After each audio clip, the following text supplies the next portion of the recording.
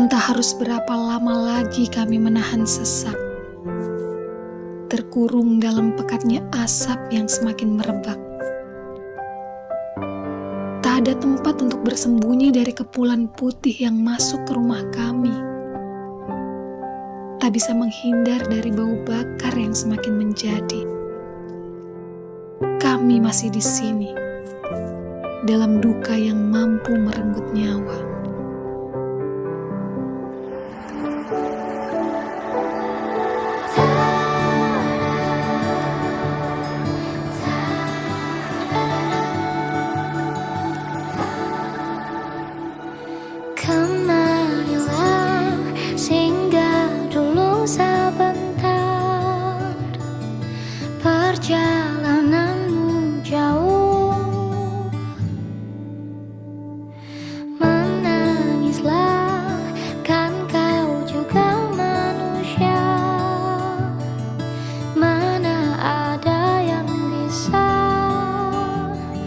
terlalu